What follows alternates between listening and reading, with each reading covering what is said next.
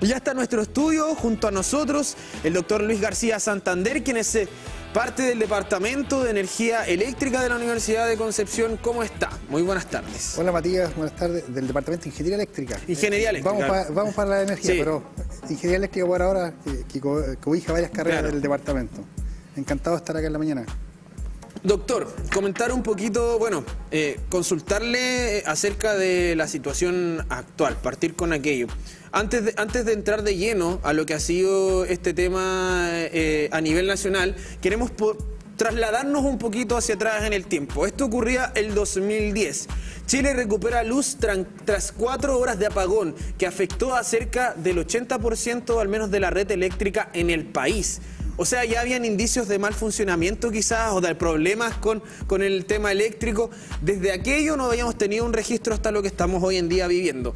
Cuéntenos un poco cómo ha sido este proceso de- del avance en torno a la energía eléctrica eh, en nuestro país, eh, eh, el transporte, cómo se está avanzando buscando nuevas tecnologías. ¿Hemos avanzado o no? Bueno, el tema es súper interesante, Matías. Eh, en realidad, la, contingencia que tenemos con la situación que se está viviendo desde el jueves pasado en, varias regiones del país por el temporal, eh, fuera lo normal, entre comillas, digamos, por los fuertes vientos. Eh, efectivamente, bueno, esto demuestra que, nuestras redes eléctricas no están preparadas para este tema de contingencia, que son también contingencias especiales. O sea, también no es algo normal pero sí está siendo más recurrente. Nosotros hemos asesorado en, en alguna empresa también por otros temas de, de corte de energía, en las cuales los estudios indican que estas condiciones climáticas ya no son tan ocasionales o tan distantes, sino que con el cambio climático estamos hoy día cierto a una cantidad o frecuencia mucho más alta de lo tradicional. Por lo tanto, ¿qué implica eso? Que las empresas eléctricas van a tener que invertir mucha más infraestructura. Pero eso va de la mano de, otra, de otro punto que es importante. Va de, la mano del punto de vista del precio que nosotros tenemos que pagar. Hoy día, eh, si bien es cierto, las empresas eléctricas tienen que responder con el tema de la seguridad eléctrica, eso también va detrás una inversión de ello. ¿ya? Y las inversiones van valorizadas a través de lo que nosotros pagamos. O sea, cada uno que tiene su negocio, ¿cierto? Dice quiero ganar tanto, tanto dinero. El tema de las distribuidoras está súper regulado. No, no se pueden disparar en, en la ganancia. Pero están también valorizadas todo lo que son las infraestructuras. Y en ese estamos topando nosotros. ¿Por qué? Porque la infraestructura que se tiene que incorporar en el sistema eléctrico no está valorizado al valor que debiera ser. Por lo tanto, la- las compañías, algunas están cumpliendo las normativas, otras claramente no la están cumpliendo, sobre todo el tema de, podas, el roce que se llama, ¿verdad? Pero también hay ciertas áreas en las cuales eh, las municipalidades, las empresas privadas tienen responsabilidad desde el punto de vista de que, en el caso nuestro, ¿cierto? La, mayor cantidad de, de- de incidentes que hay de corte de energía es por voladoras de, de, de techo, del tema de ramas de árboles, árboles caídos, que se encuentran de los que se llama técnicamente la franja de seguridad. Entonces, lo que está dentro de la franja de seguridad, eso es responsabilidad neta de la compañía eléctrica. Y por lo tanto, si hay una, alguna, algún incidente a causa de eso, no hay nada que hacer, la compañía es responsable. Pero también hay eh, árboles que están fuera de esa franja, de esa franja de seguridad, que a lo mejor en su proyección de caída puede caer dentro del tendido. Y ahí hay un tema bien, bien en, el límite de quién es responsabilidad. Hoy día se dice que todavía es responsabilidad de la compañía, pero ella tiene que informar respecto a que hay un árbol que puede caer en el tendido eléctrico, pero el que lo tiene que poder o cortar el dueño o el propietario del árbol. Entonces, hay, una, hay un sinfín de cosas que efectivamente esto pone de manifiesto que la infraestructura es débil, es muy débil, y hay que hacer algo. Se han hablado de medidas alternativas, por ejemplo, la gente solicita cableado subterráneo, eh, eh, otras, otras medidas también, mayor fiscalización a las compañías eléctricas.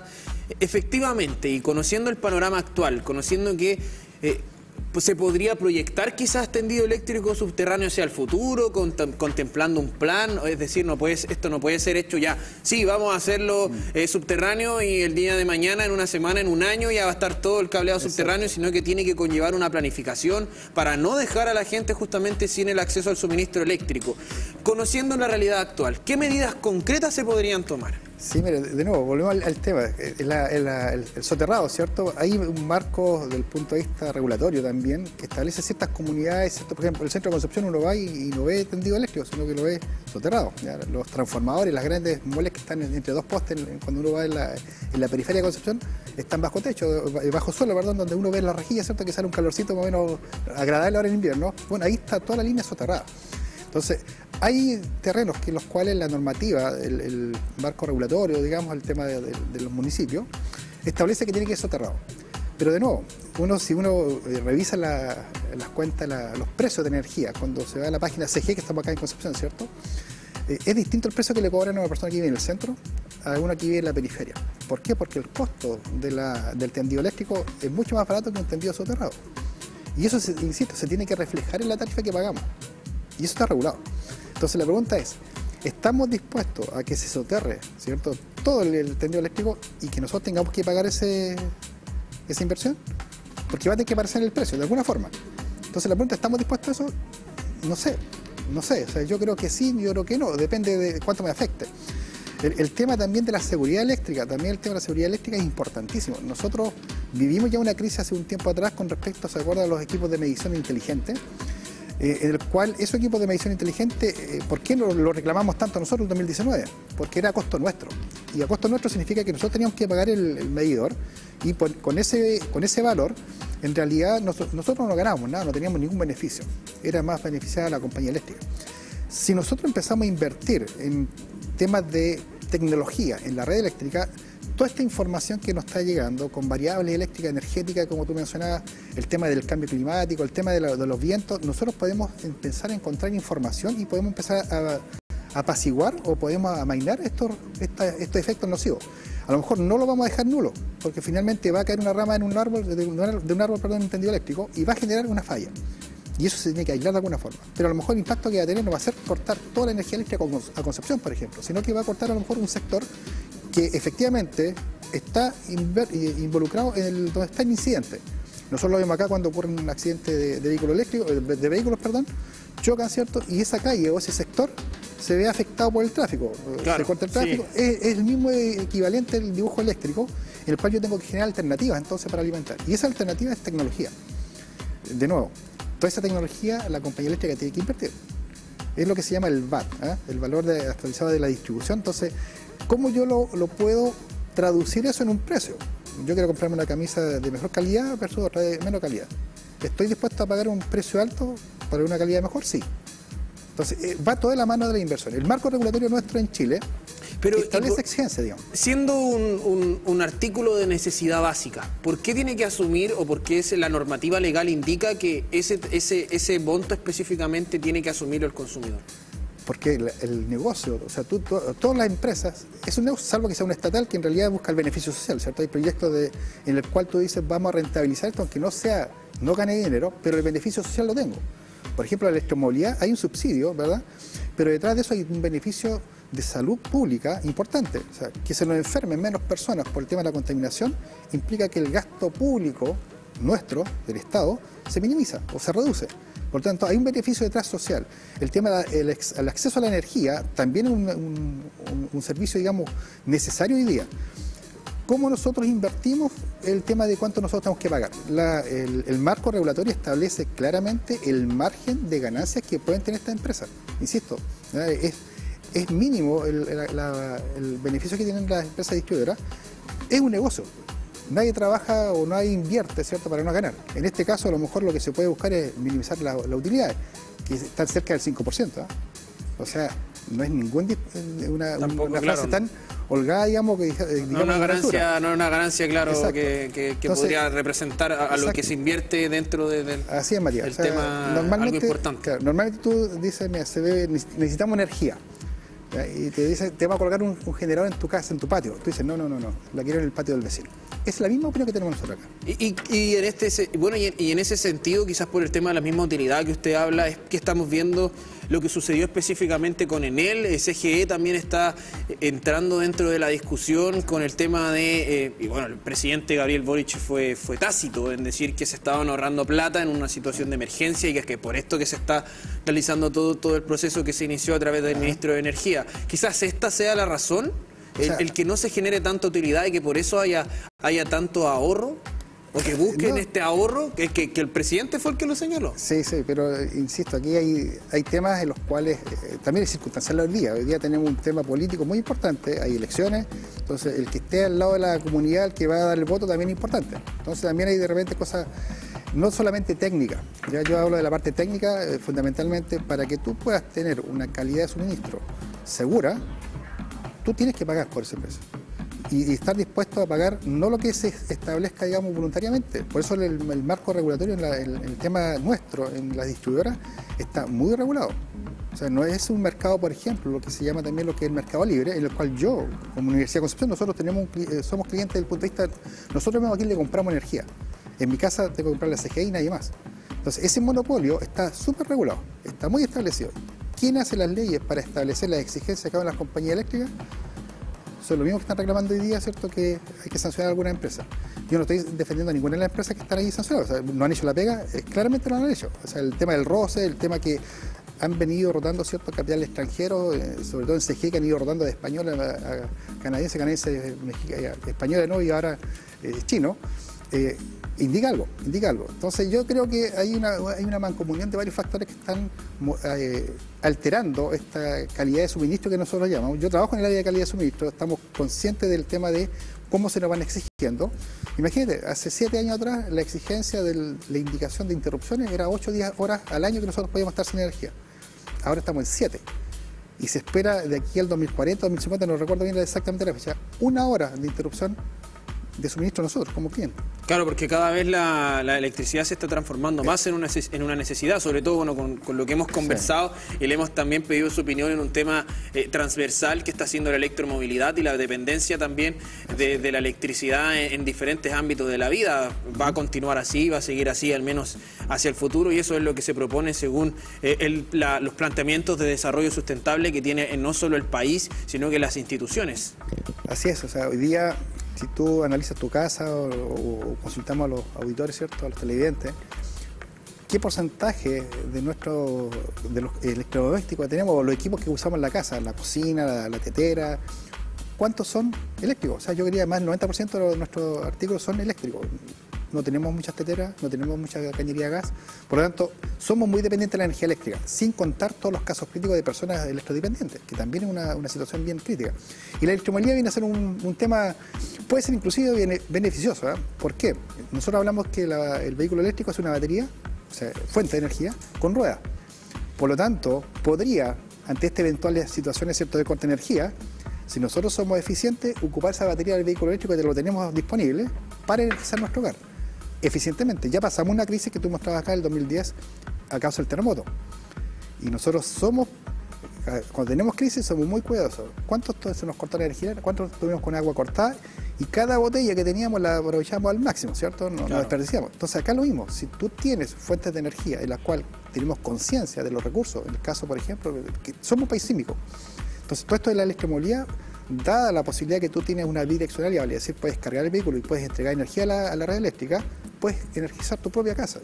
Entonces, la electromovilidad, si bien es cierto, es un problema, pero también puede ser un beneficio si la, sabemos utilizar de, manera correcta. Mire, queremos ir a revisar parte de lo que hemos estado dándoles a conocer. Esto es eh, lo que va actualizándose a través de la SEC y tiene relación con los clientes eh, sin suministro por región. Ahí podemos ver el desglose en este gráfico de torta y podemos ver que en los ríos, la Araucanía, la región del Biobío y la metropolitana se concentra la mayor cantidad de clientes sin suministro. Región metropolitana, recordemos que ha sido la más afectada en cuanto a este tema. Pasemos a ver entonces el gráfico porque se ha actualizado. Recordemos que en algún momento estaba bien complicado el tema en la región del Biobío, sobre todo hace un par de días atrás, pero el panorama ha cambiado drásticamente. Por ejemplo, en algunos lugares eh, donde habían eh, miles de personas o miles de familias sin eh, acceso a la electricidad en su hogar, ya ha cambiado y ha bajado bastante, bastante la cifra. Quilaco mantiene al menos algo mayor, pero de los eh, que nosotros le habíamos mostrado durante la semana. Por ejemplo, yo recuerdo que en, eh, específicamente en Concepción, en Tucapel estaba ahí también bien complicada la cosa, en Santa Bárbara, que aún se mantiene con, con harto índice de, de, mm, de, clientes sin suministro, y también en San Pedro de la Paz. En San Pedro de la Paz ha sido ya, al menos eh, el tema del alumbrado público, la gente que vive ahí en San Pedro de la Paz lo podrá saber porque eh, todavía al menos el alumbrado público está sin acceso en algunos sectores, eh, pero los hogares sí están energizados, así que Buenas noticias, buenas noticias al menos para la región del Biobío, pero en Santiago complejo. Yo creo que es buena noticia para los que tenemos energía, pero para ellos sigue siendo mala noticia. Claro, sí, ese, 79, ese 28 es tan grave como los militantes que están en Santiago. A mí... Eh, no, no, pero buenas noticias en el sentido de que cambiaron, porque antes habían, antes en Tucapel, por ejemplo, habían como cerca de 2.000 personas sin acceso al suministro, entonces ahora igual bajó a 24, claro, a tenemos que llegar al 100%, pero ha cambiado un poco el panorama. Mira, dentro de todo esto que, ha acontecido, digamos, eh, el, temporal y la consecuencia que hay, es bueno que haya ocurrido en Santiago, porque ya sabemos que si no ocurre en Santiago, el día jueves ocurrió el temporal acá. Desde el jueves nosotros estábamos sin energía eléctrica, sin embargo en Santiago fue el día viernes. Claro, pasó un, tiempo. Pasó un día. Santiago no mostró nada, ¿cierto? Nosotros acá, el canal TVU, canal regional, mostramos lo que estaba ocurriendo acá. Pero cuando ocurre en Santiago, parece que ocurre en todo Chile. Entonces, qué bueno que se haya difundido y que haya ocurrido en Santiago. No estoy agradeciendo que haya ocurrido, digamos, que se esté quedando sin energía en Santiago. Pero cuando pasa en Santiago es porque pasa en Chile, según ellos. Claro. Entonces, y, se, visibiliza el problema, básicamente. Sí, pero eso es, grave también, porque nosotros tenemos la misma responsabilidad acá en la región, ¿cierto? Cuando se afecta. Tú mostraste el otro día, indicaba el otro día teníamos un gran un porcentaje altísimo de cortos de energía. Uno se metía en la página de CG, en zona de incidencia, tú veías prácticamente todo el mapa rojo. Sí, todo el mapa rojo, claro. Entonces, tú dices, ok, tenemos el problema grave pero somos Concepción solamente, o somos la región del Biobío, o somos una región. Entonces, también es importante, y por eso te digo acá, eh, es bueno que hayan bajado los números, pero esas seis personas que están ahí llevan a lo mejor siete días sin energía, y para ellos no es nada bueno todavía que, haya mejorado, porque ellos siguen estando sin energía. Entonces, a eso voy yo, digamos, el tema de, la regionalización nuestra o de la empresa eléctrica, el caso acá, eh, tenemos que también darle prioridad a cualquiera que sea. Si tú te das cuenta, los números que están ahí en, mayor cantidad de, o las comunas, son también comunas rurales. Eso significa que también el acceso de las empresas eléctricas, de la brigada, se hace más dificultoso. Entonces también hay que tener esa, empatía con las personas que están trabajando. yo conversaba hace dos días atrás con un colega de, de CGE por otros temas y llevan tres días completos trabajando en la empresa. Entonces uno dice, yo no tengo energía, nos enojamos con ellos cuando van a, reparar, nosotros también le reclamamos, ¿cierto? Pero detrás familia, detrás hay personas y a lo mejor ellos también están sin energía. Entonces, el tema de la empatía nuestra en esta, en esta crisis, ahí están mostrando, digamos, catástrofes importantes. De hecho, hecho, nosotros estábamos conversando esto mismo, y yo recuerdo que una persona nos llegó un mensaje por WhatsApp que justamente nos decía eso, que básicamente estábamos defendiendo un poco el actuar de las compañías, y no, estábamos defendiendo a las personas que trabajan detrás, que la lluvia, en el sistema frontal, están ahí, están ahí. Eh, a lo mejor quizás no son las que usted desearía, o, lamentablemente, claro, aquí hay eh, deficiencias en diferentes ámbitos que tienen que, tienen que ser em, trabajadas por parte de las empresas, pero son personas las que están trabajando. Entonces también tenemos que, tener ahí la cuota y el lado humano de, brindarle un poco de apoyo también a aquellos quienes están arriba del poste o, tratando de arreglar las cosas en pleno sistema frontal, que mientras quizás usted esté en su hogar sin luz, ellos están afuera mojándose a, la merced del viento, a la merced de la lluvia y, trabajando para que usted pueda recuperar su servicio. Entonces también ahí tenemos que, que no dejar nunca el lado humano tal y cual como usted señala. Y ojo, que el, trabajo que se hace ahí es con líneas energizadas. O sea, también es de alto riesgo. También es de alto riesgo, claro. No, es, no es solamente que me van a prestar, no, es de alto riesgo para ellos. Entonces, eh, sí, es molesto cuando te quedas sin energía, sobre todo cuando uno está estudiando, está trabajando, está haciendo alguna cosa y, se acuerda de toda la familia, excepto de lo eléctrico, cuando se corta la energía. Eh, es grave, es grave, pero también tenemos que ser conscientes de que esto es una condición anómala. Desde el punto de vista regulatorio, se establecen condiciones de fuerza mayor. Esta fuerza mayor, como decía, se están haciendo cada vez más frecuentes y van a empezar a desaparecer y eso significa que van a, estar, van a empezar a ser contabilizadas también como una falta de la empresa eléctrica por no estar preparadas para. Bueno, doctor, podríamos conversar eh, un, poco más de, tiempo acerca de esto, pero tenemos que, despedirle. Eh, eh, muchísimas gracias por estar con nosotros, por, compartir este espacio y obviamente quedamos ahí, como siempre, también le aprovechamos de agradecer aquí que estamos en vivo y en directo por su disposición. Siempre ahí cuando tenemos alguna, algún requerimiento está ahí disponible para poder aclararnos a nosotros y a ustedes, por ejemplo, la perspectiva, la visión desde la academia en cuanto a estos temas de energía, electromovilidad de nuestro país. Así que muchísimas gracias, doctor, por estar con nosotros en esta jornada. Gracias Matías y de nuevo empatizar digamos, con las personas que están en terreno, ya llevan siete días también trabajando y bueno, y hacer las quejas a la superintendencia si con, sin energía eléctrica. Hay un ente regulatorio que permite las compensaciones.